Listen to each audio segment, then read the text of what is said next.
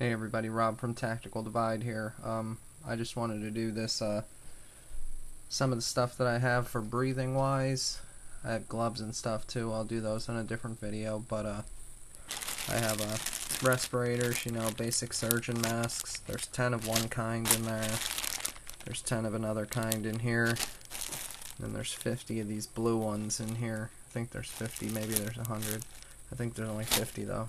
And then I got this basic basic uh, breathing apparatus type thing. It has uh, I got an extra cartridge for it, RC203 gas cartridge for spray paint and organic vaporous materials.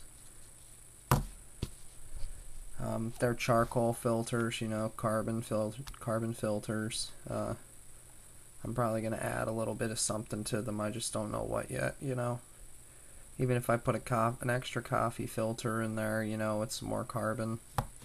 Because I've been thinking, you know, you could probably take uh, fish tank filters and use those as breathing apparatuses. I don't know how well they would work, but that's all. I just wanted to show you a little stockpile of uh, face masks that I have, including that one and the spare cartridges. Preparing for whatever comes. We never know. Better to be safe than sorry. Thank you. Have a nice day. Comment, post, click an ad, please.